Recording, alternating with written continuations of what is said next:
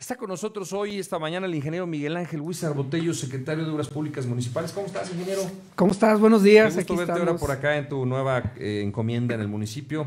Hay muchas obras de rehabilitación que se han hecho en últimos meses y obras como la del famoso Puente de la México y vamos a platicar de todo eso, pero vámonos por partes. En Avenida Agostaderito o Avenida de los Maestros, tercer anillo, ahí donde está HB, hicieron una rehabilitación. Nos, nos, quisieras platicar en qué consistió, cómo va, qué les falta para terminar. Sí, bueno, en la Avenida de los Maestros o Agostaderito estamos eh, con la pavimentación, uh -huh. con concreto hidráulico y con carpeta asfáltica en las dos calzadas, precisamente desde donde está el puente hasta tercer anillo. Ahí es muy importante comentar que esta obra, pues eh, casi son 20 millones de, de, pesos los que se están invirtiendo. Y también rehabilitamos la red de alcantarillado que está en una de las calzadas, motivo por el cual pues eh, vimos retrasado un poquito esos trabajos porque teníamos que atacar primero esa, esa red. Observé, por ejemplo, que faltan detalles por terminar la obra, no está totalmente terminada. Sí, aquí es muy importante comentar también que estamos trabajando en eh, la rehabilitación del puente, precisamente que está sobre el, sobre el arroyo. Uh -huh.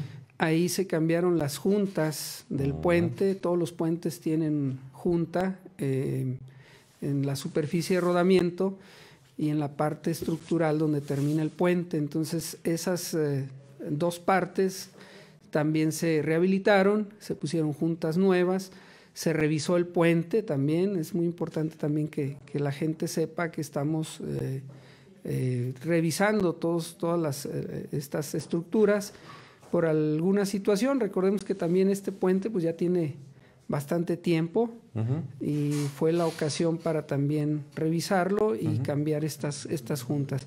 También comentar que estamos rehabilitando lo que es el camellón central. Sí. ¿sí? Eh, estamos eh, metiendo ahí algo de, de ornato. vegetación, ornato y algunas zonas para paso seguro, peatonal, señalamiento, y eso es lo que estamos trabajando precisamente ayer en la noche, estuvimos ya pintando uh -huh. y terminando este camellón para uh -huh. concluirlo el día de mañana. Mañana uh -huh. tenemos como fecha límite oh. ya terminar esta, esta importante obra. Cuando va uno circulando de oriente a poniente, es decir, como de salida al Sabinal, observarás que del lado de la calzada norte o la parte de la de, de, donde sería la banqueta, pues no hay banqueta, no hay guarnición, o sí la hay, pero hay mucha tierra ahí. Y vi como que estaban poniendo piedra bola, no sé si van a hacer un empedrado ahí o cómo lo van a resolver esa parte. Sí, ahí hay partes donde vamos a poner banqueta, precisamente uh -huh. para que la gente camine con seguridad, con comodidad. Y también eh, parte de, de la, del camellón estamos uh -huh. poniendo precisamente piedra bola uh -huh. para que de alguna forma quede integrado este proyecto, ¿verdad? Va a uh -huh. contar también con las banquetas laterales. En ese mismo sentido de circulación sobre Avenida de los Maestros, oriente hacia el poniente, cuando termina el concreto hidráulico que ustedes colocaron y empieza el asfalto de tercer anillo, quedó un hueco, una zanja muy fea, una mordida. Y entonces cuando le toca el siga al, conductor, pues pasa con precaución y, y, lo hace lento para, para no dañar su suspensión, pero resulta que alcanzan a pasar tres coches en el SIGA y los otros que están atrás pues empiezan a hacer una enorme fila y se hace muy largo esto. ¿Lo van a dejar así o eso también se no, va a este, rehabilitar? Precisamente el día de hoy terminamos, esto es lo que nosotros llamamos los empates, donde eso. termina un pavimento y uh -huh. comienza el, el, el, el, anterior, ¿verdad? Son los empates que eh, se trabajan hasta el final, uh -huh. precisamente para eh, que queden de la mejor manera posible. Esos los estamos trabajando el día de ayer en una calzada y en la otra calzada los trabajaremos el día de hoy. Y con esto también terminamos ya esta, esta obra, ya va a quedar perfectamente eso, esos empates, esos cambios de pavimento uh -huh. del nuevo con el, con el de tercer anillo, precisamente ahí. Y luego hubo tramos de reencarpetamiento ya cruzando tercer anillo más para el salto de los salado, varios tramos, varios cuadros, muy bien porque ya se estaban haciendo unos boquetones tremendos, a veces unos desniveles de hasta dos pulgadas, tres, que cuando pasaba uno con el vehículo pues ya se sentía, ya se golpeaba la, la suspensión. ¿Esa obra es de ustedes o es de gobierno del Estado? Bueno, nosotros estamos trabajando también con las brigadas de bacheo, precisamente también en toda la zona colindante con esta, con esta obra, para que de alguna forma pues quede todo integrado y quede eh, pues en buen funcionamiento esta, este importante crucero. Ahí Es un crucero muy importante, muy, muy con mucho tráfico las laterales también les estamos dando una, pues una rehabilitada y de alguna forma también para que quede pues en las mejores condiciones, ¿verdad? Ahí hay mucho flujo, tenemos Santa Mónica, tenemos el, nuevo centro comercial. Hay colegios por ahí. Hay colegios también, precisamente, hay muchos eh, locales sobre Avenida de los Maestros y pues queremos que esa zona quede eh, con una nueva imagen, sobre todo también, integrada a este, esta nueva obra de pavimento. Oiga, ingeniero Wizard, y hablemos del puente de la México. Ha sido un tema muy tortuoso, muy complicado. Primero porque pues tenía alguna fractura que ustedes tuvieron a bien eh, observar, estudiar, analizar. Ya sabían lo que iban a hacer con ello, ya estaban en proceso y viene el choque de una pipa de combustible con un tren en ese cruce y termina de darle al traste al asunto porque ahora sí los obligó a hacer cambios. ¿Y cómo van estos cambios? Ese cambio de traves que se aprecian en pantalla. Sí, bueno, comentarte que eh, la primer trave ya fue retirada. Eh, tuvimos que ponernos de acuerdo con Ferromex para el tráfico de los trenes que circulan sobre la vía. Y bueno, también esta, este retiro nos sirvió para checar la logística de tiempos y movimientos porque son traves de 35 toneladas. Eh, no es sencillo, son a través de dos grúas las que tienen que cargar eh, simultáneamente y estratégicamente estas traves para que no pues, exista ningún riesgo.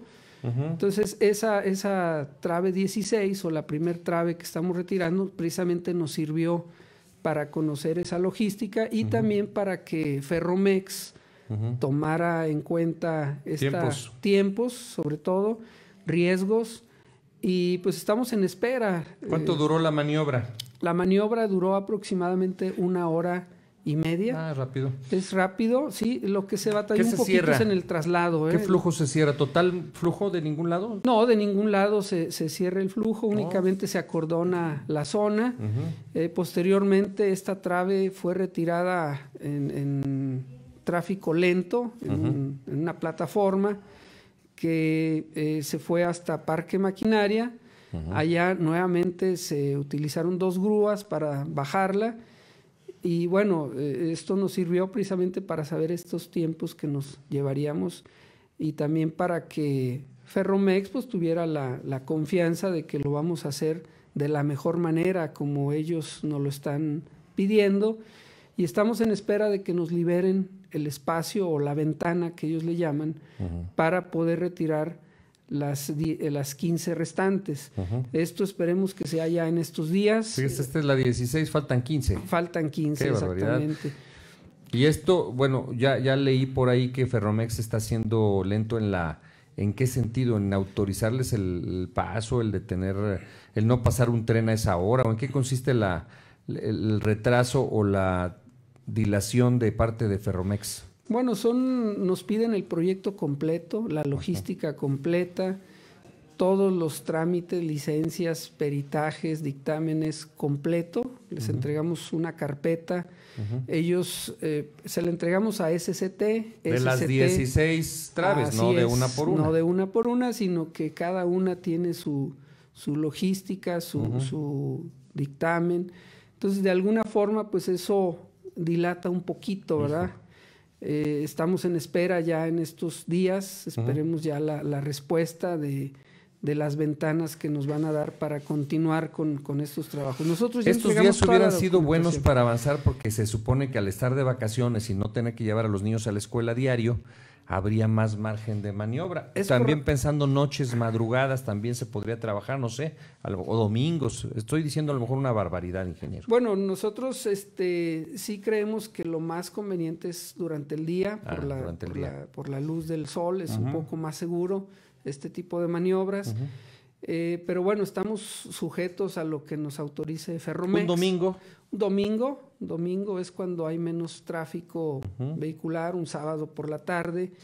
Este, de alguna forma, pues nosotros tenemos que ajustarnos a esas ventanas que nos da Ferromex. ¿Y cuándo va a ser la siguiente trave? Bueno, esperemos que en esta semana ya nos den, nos den contestación. Eh, quedaron muy formales en, en, estos días ya darnos la, la respuesta, la autorización para nosotros prepararnos para las siguientes 15. Sería a lo mejor ya continuos, a lo mejor mismo día unas 3, 4 y así sucesivamente. Tenemos, pensado desmontar dos diarias, una en la mañana, una en la tarde y probablemente los domingos pudiéramos avanzar un poco más, por lo que ya se comentó. Y bueno, de alguna forma, pues ya eh, acelerar estos trabajos porque pues es muy importante esta vía de comunicación. Ya lo creo. Hay preguntas, dice Rosalba Naya, ¿y para cuándo le toca tercer anillo a la altura de Loma Bonita? Eh, bueno, tercer anillo, recordemos que el gobierno del Estado está interviniendo en estos momentos dos tramos muy importantes.